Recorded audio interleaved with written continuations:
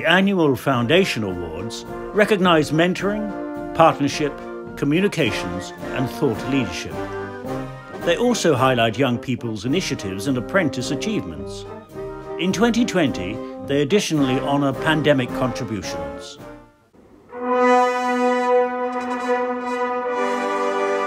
Pray silence for Major General David Shoesmith. Hello, my name is Major General David Shoesmith. Uh, I'm the chairman of the RLC Foundation, and I'd like to welcome you to the 2020 RLC Foundation Awards. Now, normally we'd have a, a military style dinner, but for obvious reasons, we're unable to do that this year. So we're holding the entire ceremony uh, on video. I'd like to start by giving you just a short background uh, to the Royal Logistic Corps Foundation uh, why we set it up uh, and where we are today with it. Uh, in essence, we set up the foundation uh, about five years ago as part of a wider initiative led by the Master General of Logistics, General Poffley, uh, to create a more outward looking Royal Logistic Corps. Uh, and there are a couple of reasons for that. Um, firstly, we needed to recognise the evolution of commercial logistics over quite a period of time, particularly their ability to operate at scale and their ability to adopt technology. Uh, whilst the, the RLC remains um, primus inter pares with regard to combat logistics, um, everything that sits behind it, uh, the planning, the organisation, the structure, uh, the various agencies involved, um, has very much been uh, assumed, the leadership of that has very much been assumed by the commercial logistics world. And we need to, needed to understand what that looked like. Uh, and the other element uh, was really the increasing role of commercial logistic partners in the delivery of defence support. Uh, and taken together, we felt that the Royal Logistic Corps needed to be better informed, better networked uh, to understand the language and to understand our approach to delivery of logistics, which is characterised by hugely energetic, can do people, uh, able to operate in a slightly chaotic environment and bring some sort of order to that chaos. Uh, and we've certainly found that our um, Logistic Corps Foundation partners have valued the interaction with our people I'm pleased with the way that Foundation has developed and the strength of the networks we've been able to establish as we've lowered the barbed wire that previously existed between us and the commercial logistics sector. So, enough of the why about the Foundation. Uh, let's talk a little bit uh, about the what, and that's what this award scheme is really designed to bring to life. Um, what we do with our awards is we recognise the achievements of our individual uh, soldiers and officers, our units, and indeed industry uh, in the delivery of the wider logistics effort during the year. Tonight, we introduce the sponsors and meet and praise nine award winners. The first RLC Foundation Award today is for mentoring support recognising the soldier or officer within the Corps who has played a major support role for others, sponsored by DHL. As the world leader in the contract logistic market, DHL manage supply chains to reduce complexity for their customers.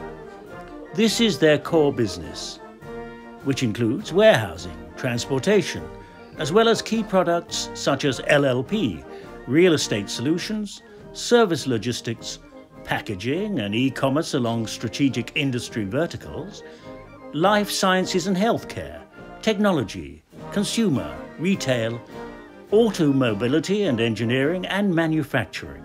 DHL have a UKL employee base of over 40,000, which includes many ex-service personnel, who have proven to be a most valued resource within DHL complex operations.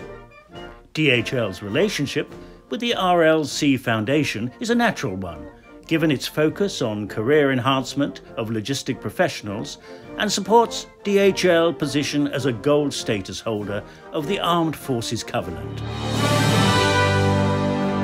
And the winner is WO2 Kia from the 13 Air Assault Support Regiment. From St Vincent and the Grenadines, Warrant Officer Kia personally and professionally mentors, supports and develops others as a key member of the coordinating team, devising a three-phase pioneering scheme especially for the regiment's BAME community, where she is the CO's senior advisor and a leading member of the Army's West Indian Network, maintaining close links with her nation and promoting children's education sponsorship. 13 Air Assault Support Regiment. It is the UK's only very high readiness combined logistic and equipment support regiment. They stand ready to deploy anywhere in the world in support of 16 Air Assault Brigade, the UK's global response force, at a moment's notice. The regiment comprises a number of unique and niche capabilities, which enables it to operate at reach in the most austere and demanding environments. As well as its support of 16 Air Assault Brigade, the regiment also maintains at extreme high readiness Defence Air Dispatch capability which supports military and OGD operations around the world. Made up of personnel from seven cap badges and 16 main trades, it is a highly employable, versatile, and permanently ready unit that typifies the best that the British Army has to offer. The second Foundation Award this year is a national one for support to RLC professional development for that organisation from industry or academia which has contributed most significantly to the Foundation.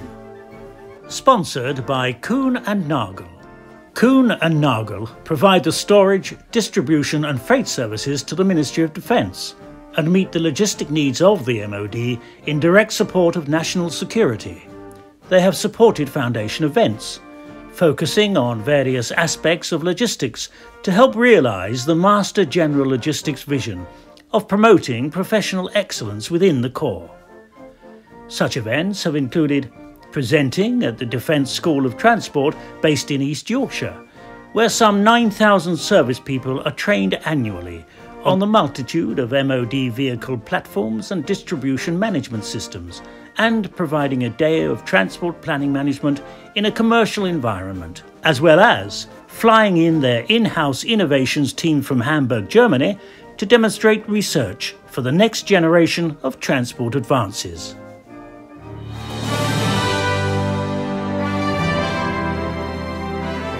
The winner is Leidos.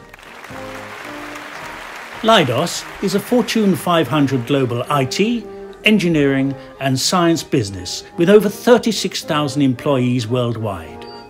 Their vision is to become the global leader in the integration and application of information technology, engineering, and science to solve our customers' most demanding challenges. Leidos UK Logistics Division manages the 6.5 billion Logistics Commodities and Services Transformation Programme for the UK MOD implementing technological advancements for one of the world's foremost military operations, whilst generating millions in savings for government. Leidos has brought together an experienced team of private sector defence and logistic partners, with the global expertise to deliver the transformation required. Leidos is a corporate member of the RLC Foundation,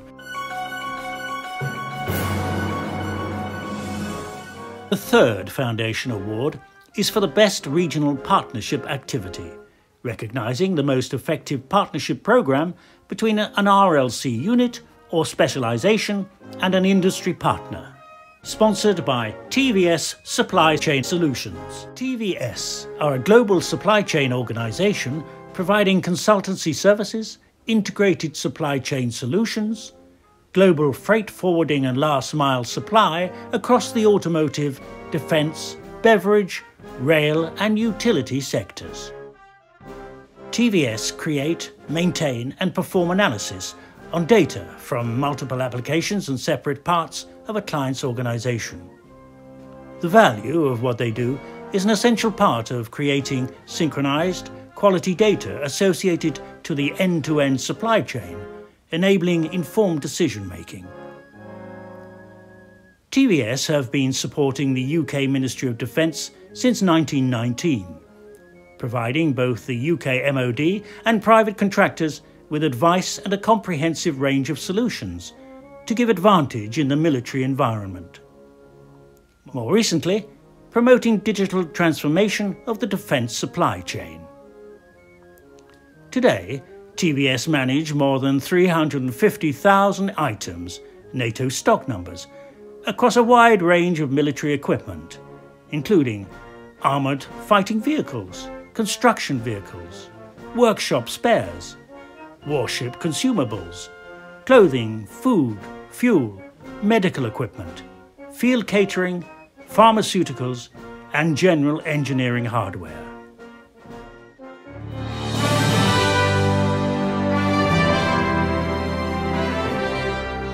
The winner is the Worshipful Company of Carmen. The Worshipful Company of Carmen, founded in 1517, is the world's oldest transport organisation. The company is chartered by the Crown and committed to the sovereign, city, industry, and those in need through its two charities. It comprises some 600 members, freemen of the city and of this guild. With a commitment to the armed forces dating back to the Napoleonic Wars, the company was formally affiliated to the Royal Corps of Transport in 1975.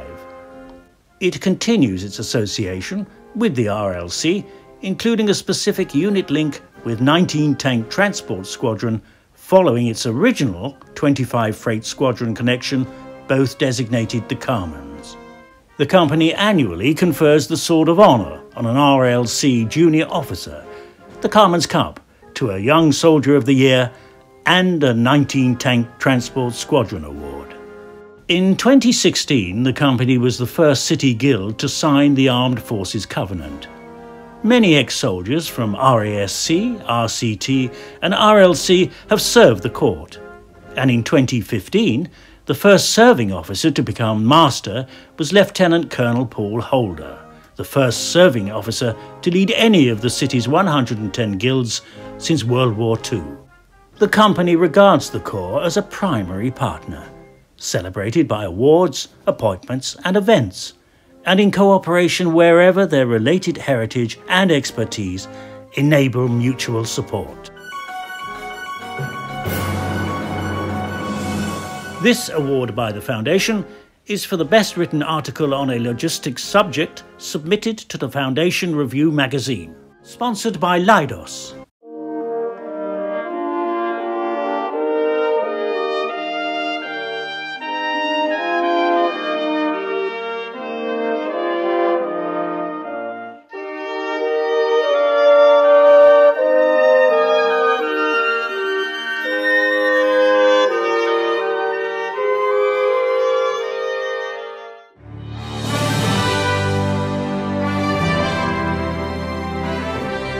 Winner from 4 Regiment RLC is Second Lieutenant Amy Grieve.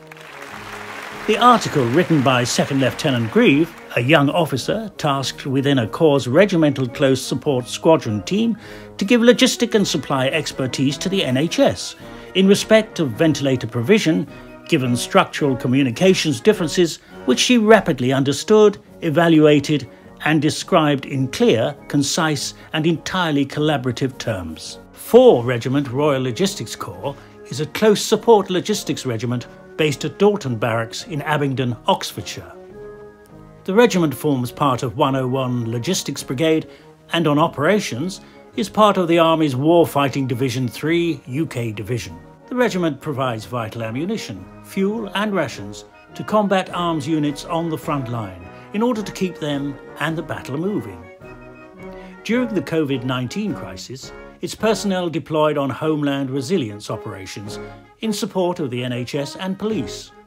Transporting ventilators across London, it assisted prevent critical shortages. Supercharging warehouse operations, it helped upgrade PPE supply processes to handle unprecedented demand. Looking forward, Four RLCs stand ready to sustain the fight against future threats, at home and abroad. The Foundation's fifth award for Thought Leadership recognises the RLC, industrial or academic organisation, which has made the greatest contribution to the Foundation's Thought Leadership programme. And it's sponsored by Wincanton, Wincanton is the largest British third-party logistics 3PL company, providing innovative supply chain solutions to some of the world's most admired companies across a wide range of industries, including defence. With over 60 years' experience supporting the defence industry, both domestically and overseas, Wincanton fully understands the rigours and complexity of supply chains within this important sector.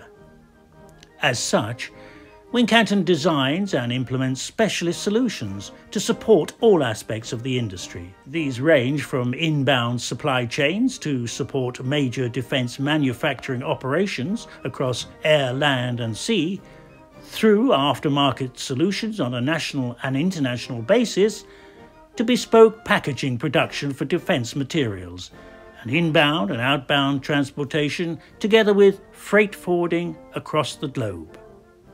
Wincanton is absolutely committed to the country's armed forces.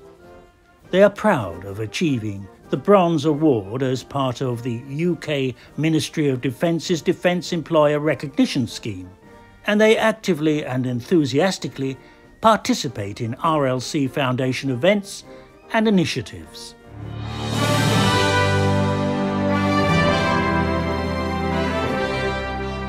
And the winner is Kuehne and Nagel.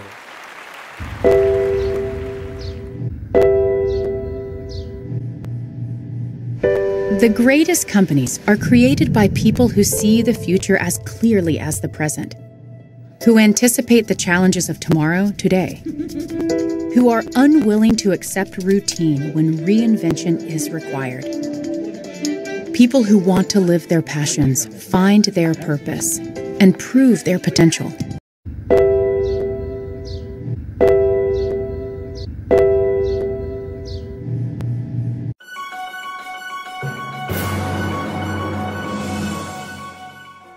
Foundation's award for Junior Initiative celebrates the best idea or concept submitted by an officer below the rank of Major or soldier below the rank of Staff Sergeant. Sponsored by Foreland Shipping. Foreland Shipping Limited operates the UK Strategic Sealift Service for the Ministry of Defence. They provide four large bespoke roll on roll off vessels, fully manned with British sponsored reservists capable of providing 10,000 lane metres of critical equipment at short notice. They support a variety of tasks, including transport of early entry military equipment to intergovernmental support for essential transport including nuclear, medical and Brexit standby. FSL are focused on developing their own service into the future and committed to defence logistics, as they are delighted to support the RLC Foundation Junior Initiative Award to encourage the next generation of senior logisticians.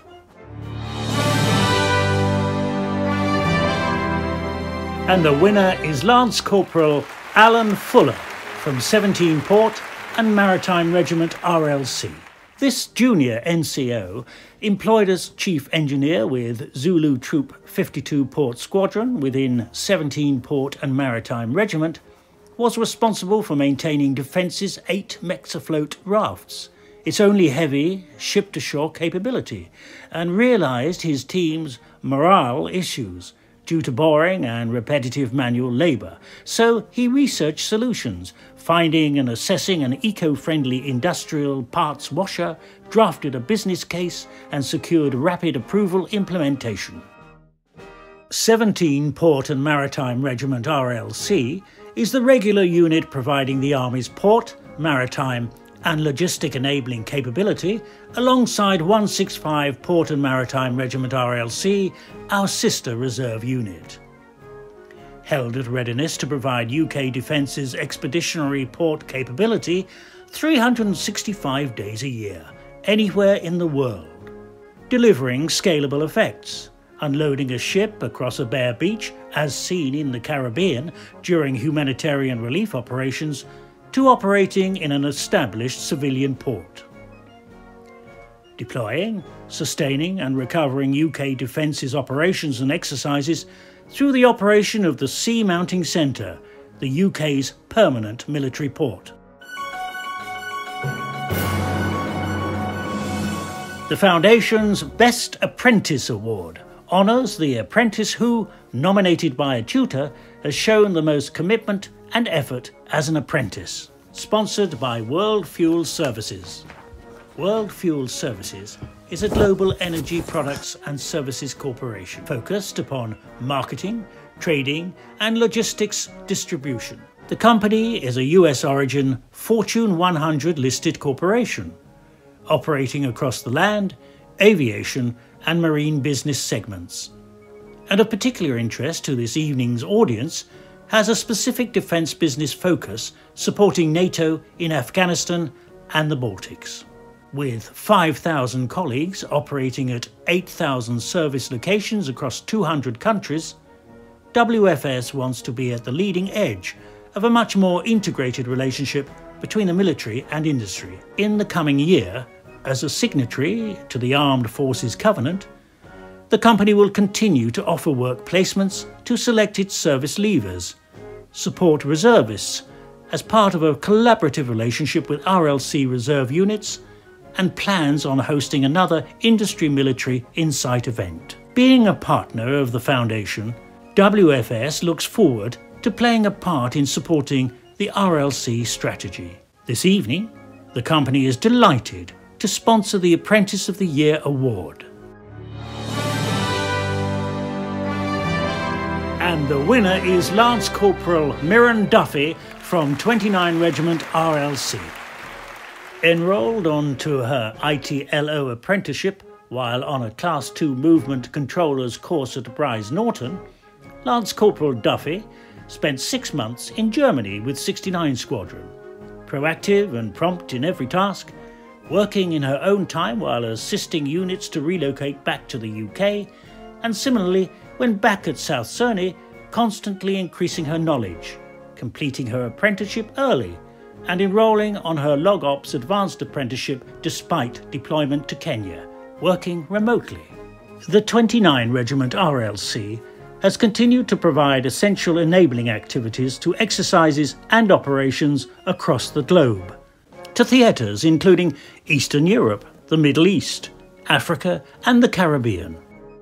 Between April and September, the Joint Air Mounting Centre has carried out 221 tasks with 5,527 personnel being processed, alongside over 235,000 kilos of baggage, 700 weapons bundles, and 152,000 kilos of freight, and 33 vehicles. They have deployed 124 personnel across six operational theatres and 223 personnel to support the movement of troops, equipment, and correspondence in 31 countries. Their regimental motto, In adversity we deliver, rings as true today as the day it was written.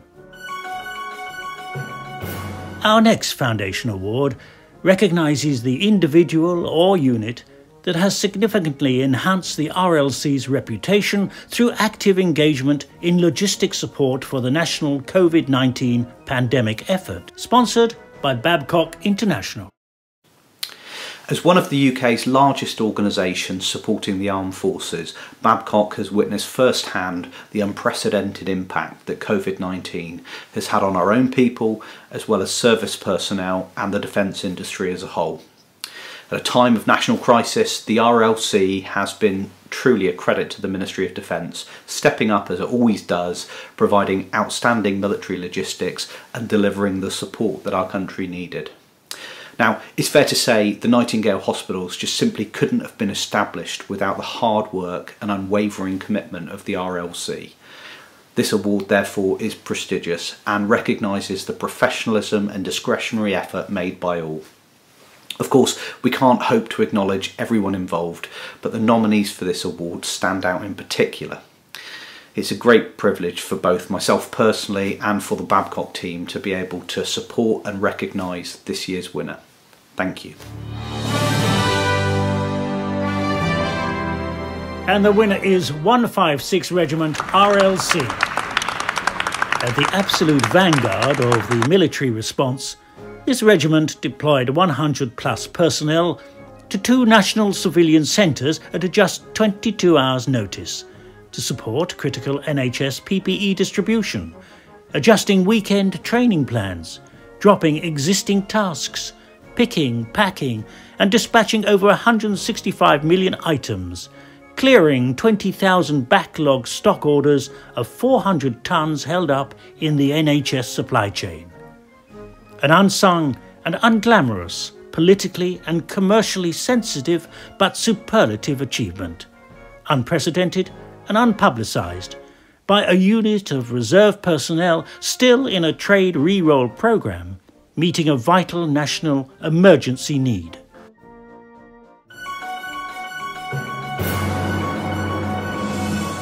The final RLC Foundation Award this year is for that unit or individual which has made the most significant logistic support contribution to combat the COVID 19 pandemic, sponsored by Leidos.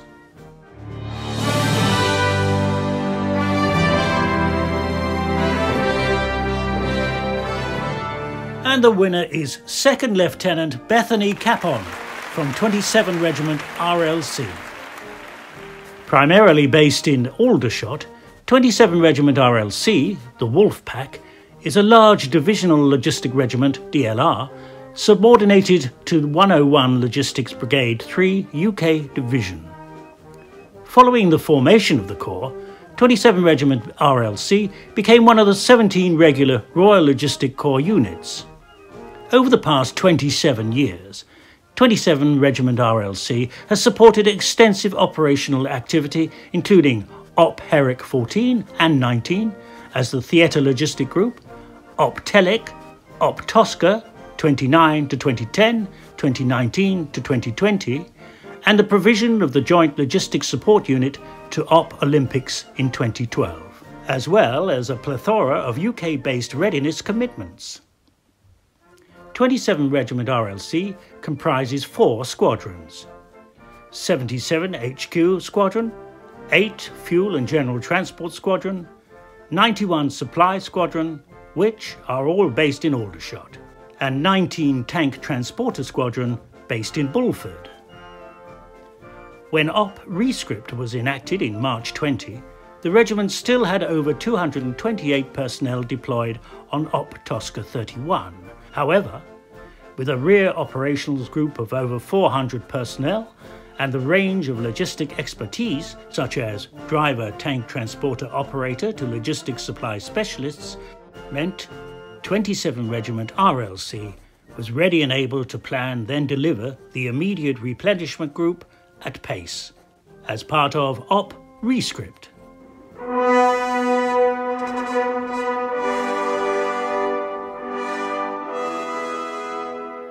Well, it's come to that time where I ought to say a few thank yous. Um, the first, of course, is to the organisers of this particular um, video stream.